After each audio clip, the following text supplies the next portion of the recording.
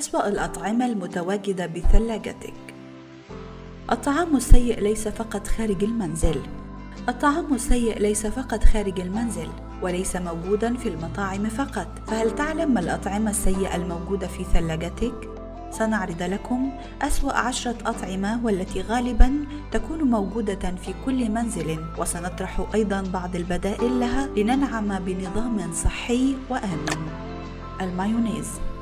من أسهل المصادر التي تمدك بالسعرات الحرارية والدهون والحقيقة أن الاستخدام المعتدل للمايونيز غير ضار كحد أقصى مقدار ملعقتين شاي. لذلك لكل محبين المايونيز ينصح بتقليل الكميات المتناولة منه أو استبداله بالمايونيز قليل الدسم.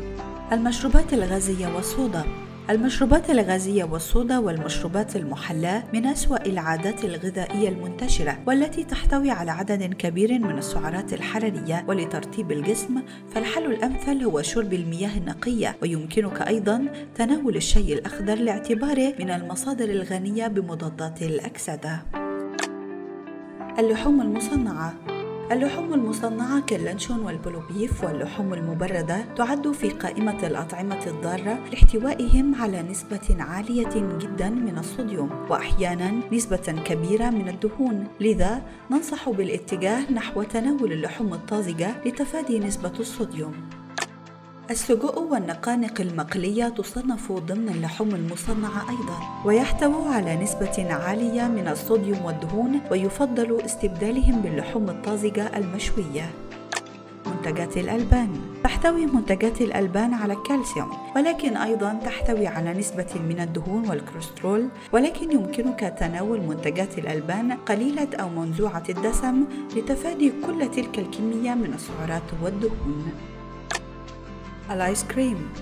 تحتوي معظم الثلاجات على عبوات الآيس كريم والتي تؤثر على نسبة الدهون والكوليسترول لديك. لذلك ننصحكم بتناول الآيس كريم قليل الدسم ويمكنكم أيضا تناول الزبادي مع بعض الفواكه الطازجة كبديل له. صوص السلطة الكريمية. هل تحتوي ثلاجتك على عبوات صوص السلطة الكريمية؟ كل ملعقتين طعام من صوص السلطة الكريمية تحتوي على الكثير والكثير من السعرات الحرارية والدهون. لذلك قلل الكمية المستخدمة إلى ملعقتين طعام في اليوم. قوالب الزبدة.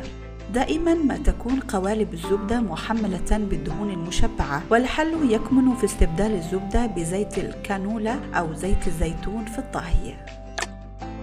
البطاطس المجمدة من العناصر الأساسية الموجودة في كل ثلاجة والمحملة بالصوديوم والدهون والحل الأفضل هو تناول البطاطس الطازجة والتي تحتوي على نسبة أقل من الدهون والسعرات الحرارية والصوديوم.